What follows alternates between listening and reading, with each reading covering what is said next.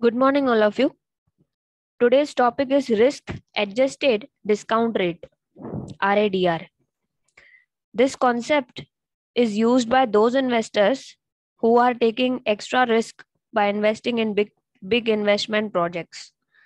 So, when they are taking extra risk, they want more compensation, higher compensation from the project. And over a period of time, they want more returns compared to treasury bill returns. Now, if I say treasury bill rate is 3.45, you want to take more, you are taking high risk in the project by investing in project. Uh, you want extra returns. So RADR formula is computed with risk-free rate plus risk premium. Okay. And uh, this formula is used for calculating the discount rate. So all the future values of cash inflows in the question, future value of cash inflows from year 1 to 5 or year 1 to 10 will be given. And you have to use this RADR concept for discounting the cash inflows.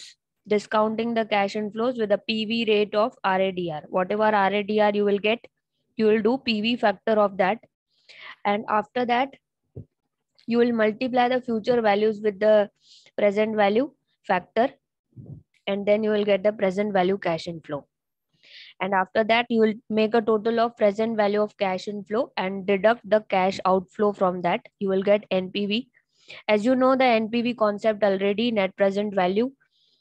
And if the npv comes positive you will select the project you will go with the project. And if it is negative less than zero you will reject the investment project and uh, these uh, the, in this question you have to calculate npv using radr risk adjusted discounted rate for an investment project having the following cash flows.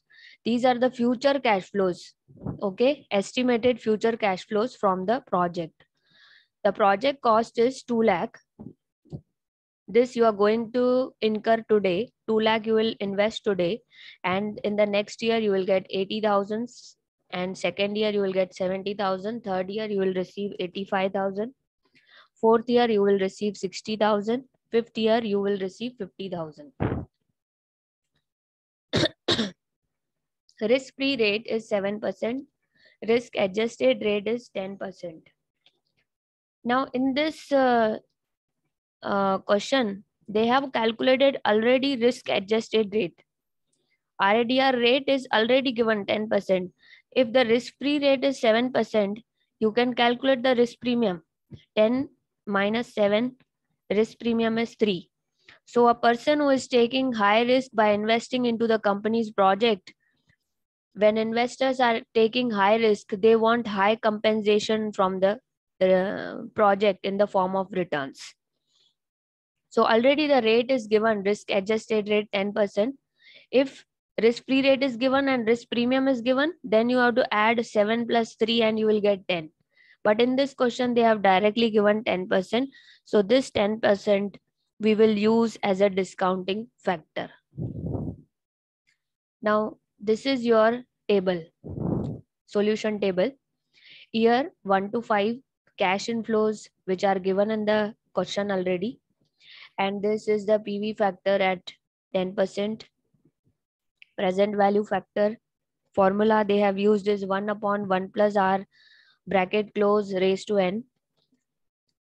1 upon 1.1 0 0.909 1 upon 1.1 square 0 0.826 1 upon 1.1 raised to 3 0 0.751 1 upon 1.1 raised to 4 0 0.6830 1 upon 1.10 raised to 5, 0.621. PV of CFAT, this is multiplying the future value with the PV factor. You will get 72,720. 80,000 into 0.909. You will get 72,720. Similarly, you will do it for all the figures till fifth year. Last figure 50,000 into 0.621 31,050. present value of cash inflow that means total of this aggregate 2,66,405 less cash outflow 2 lakh.